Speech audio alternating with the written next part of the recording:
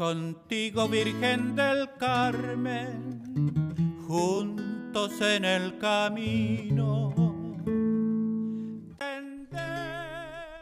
Contigo, Virgen del Carmen, juntos en el camino. Así queremos vivir, especialmente en Chile, este mes bendito, justamente del mes de María.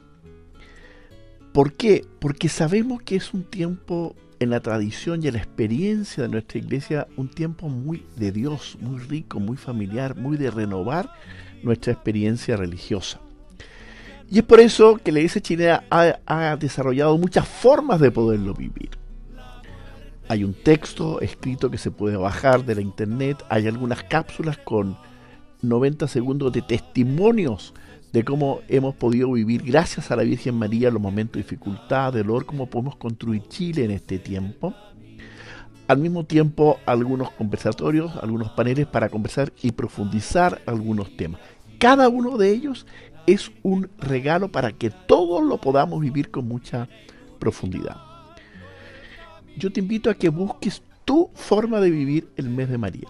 Y que esto os ayuda, fantástico, pero que tú busques tu forma de renovar en este mes bendito el encuentro con Cristo y con María.